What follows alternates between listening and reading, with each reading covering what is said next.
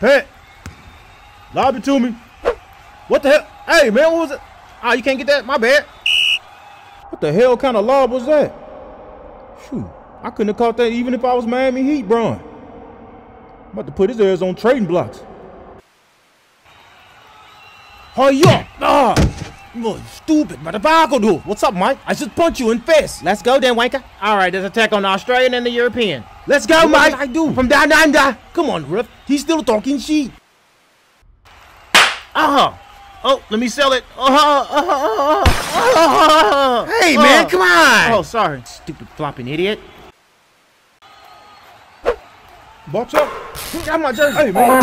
Hey, hey, get over Hey, guys, guys, guys, break it Hey, out, break don't it do out. that. Don't do that. Nigga Draymond in another altercation. What else is new? Damn, he yanked the hell out of me. It's kind of strong. Technical foul on Draymond Green. You're out of here. Oh, oh. Get that out of here, Mike.